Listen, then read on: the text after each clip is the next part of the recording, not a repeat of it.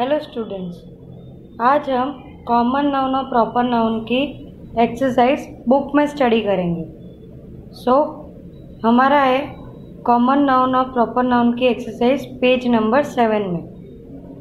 क्या है heading underline the common noun in the following sentence there may be more than one common noun in each sentence जैसा कि मैंने आपको last time explain किया था कि हमारा कॉमन नाउन एक भी हो सकता है और एक से ज़्यादा भी हो सकते हैं। Okay students so let us do it we saw a camel sitting on the road तो यह हमारा कॉमन नाउन कौन सा होगा? Camel and road okay now second Raymond rides his bicycle in the park तो यह हमारा कॉमन नाउन क्या है?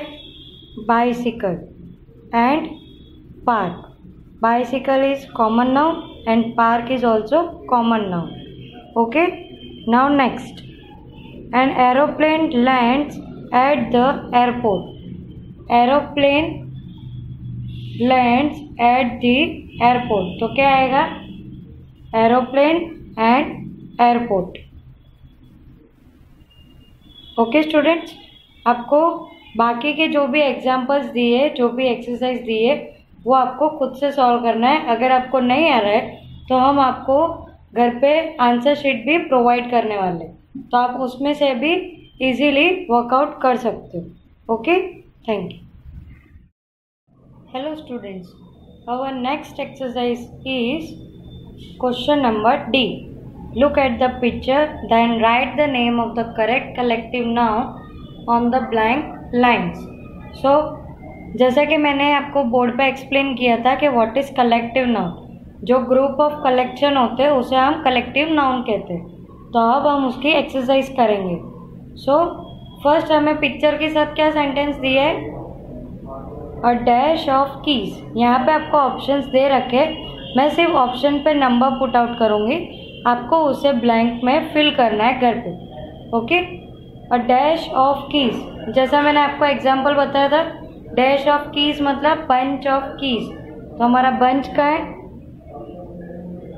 Bunch of keys now second a dash of cows cows मतलब हर्ड ऑफ़ काउस जो बहुत ही सारे काउस एक साथ घूमती है, उसे हम क्या कहते हैं? Herd of cows a dash of cards cards का क्या होता है? पैक होता है एक पूरा.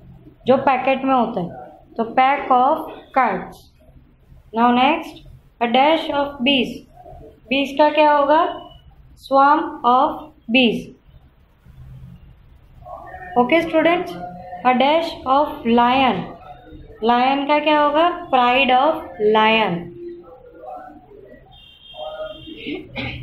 a dash of flowers flowers का हम लोग क्या बाँध के लेके जाते हैं? बुके जो हम किसी के बर्थडे पे या ओकेशंस पे हम उसको गिफ्ट करते हैं, उसे क्या बोलते हैं? Bouquet of flowers okay students now our next exercise is question number E match the following correctly यहाँ पे हमें कुछ मैचेस दिए हुए, हमें उसको करेक्टली लिखना है। मतलब यहाँ पे हमें कलेक्टिव नाउन का दिया हुआ है, वो किस पे, कौन सी कैटेगरी में सूट्स होता है। उस पर हमें टिक मार्क करना है या फिर आप उस पर ऑप्शंस भी लिख सकते हो। जैसे कि फ़र्स्ट है a crew a crew of sailors तो यहाँ पे मैं सिर्फ़ आंसर लिख रही हूँ क्रू ऑफ़ सेलर आपको उसे मैच करना है।